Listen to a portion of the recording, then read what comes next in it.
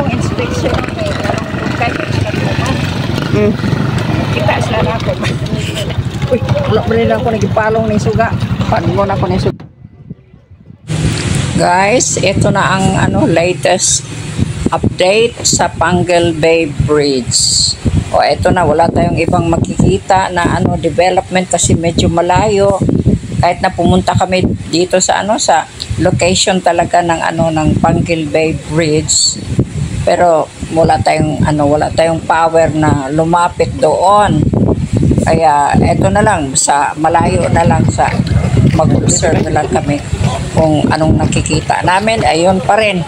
Siguro after from now on after mga mga 4 weeks baka may improvement na naman yan o kasi ang promise nila ay August 24 2024 tingnan natin kung totoo ba yan.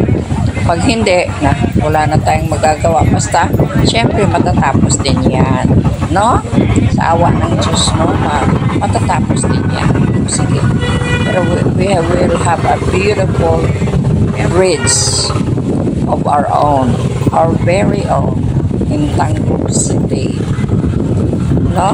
Sige, yon na lang ang latest update ko para sa inyo, my dear friends, and thank you for watching. Wala ang.